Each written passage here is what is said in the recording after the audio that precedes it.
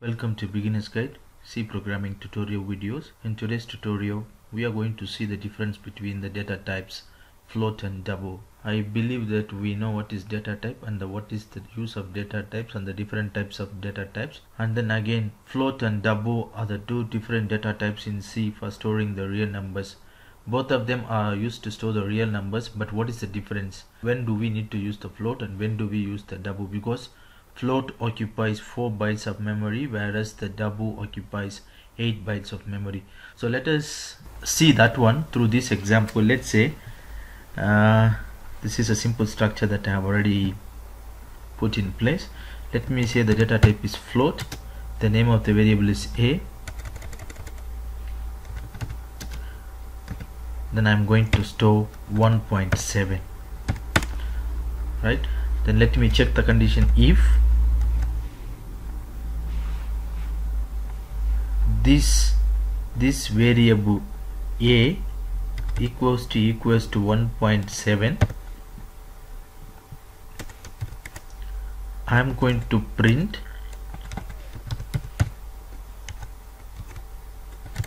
true.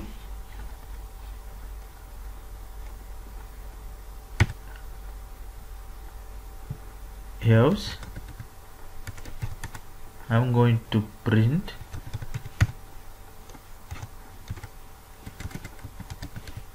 false.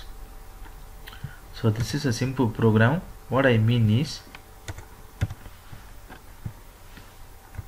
have declared the variable name as float. Sorry I have okay in this program what I have done I have, I have declared the data type name as float and the variable name as a. The value is 1.7 then I am trying to check if is the condition used to check whether the given condition is true or false here if is a statement that I use to check this variable a is equals to 1.7 actually according to this statement this a is equals to 1.7 isn't it? So so if this condition is true I'm going to return true. Else means if this condition fails then I'm going to return this one. This statement to say it's false. But according to this program as you can see them here a is equal to 1.7 isn't it? So so it's supposed to return me true. So let me run. But as as you can see the results is giving me false but a is equals to 1.7 isn't it? So according to this program we expected to return true but it returns false. So what is the reason? The reason is especially so this is the decimal number that we want to store them into the memory right? But computer can understand? Only the binary number. So what is the binary number for this 1.7 i believe you know how to convert the binary number to decimal decimal number to binary. So if you don't know try to learn that one before you come and learn this one.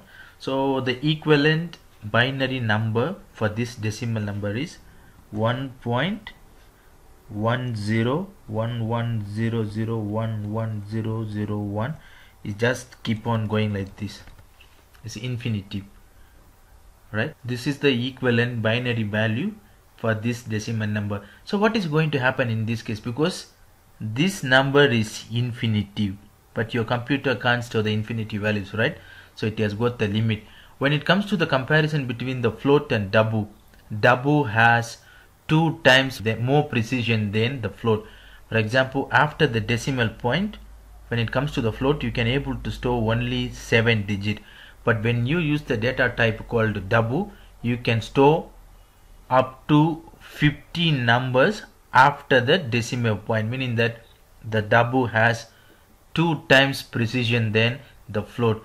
So in this case since it's an infinity value when you use the float as a variable most of the bits will be discarded. Whereas when you use the double as a data type let me say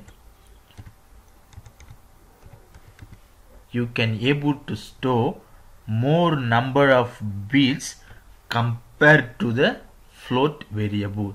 So when I use this data type name called double now is supposed to be written true. Why? Because compared to float this double variable can able to store more number of bits. Meaning that after the decimal point it can go up to 15 bits. Whereas in the float it can able to go up to 7 bits. So in this case when you use double is going to return true. So in short the major difference between the float and double double has more precision than the float which is nothing but double can able to store 15 bits after the decimal point whereas float can able to store only 7 bits after the decimal point especially after the dot let's say this decimal number is going to give you the infinity values.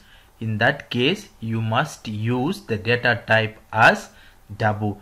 If this value is not infinity for example especially when you say 1.0 when you convert this 0 as a binary number it's not going to give you the infinity value isn't it? So it's just 0 when you convert this 1.0 into binary what is the value here just 1.0 isn't it? So so in this case instead of using double you have to use float just because of the memory because float requires only 4 bytes of memory. When you want to use the double as the data type make sure that after the decimal point if you have got the numbers maybe when you convert that number let's assume that it is going to give you the infinitive times maybe it's just keep on going. In that case you have to use the data type as double because double has more precision than the float. I hope you like the video. I hope you understand the concept. For more videos don't forget to subscribe the beginners guide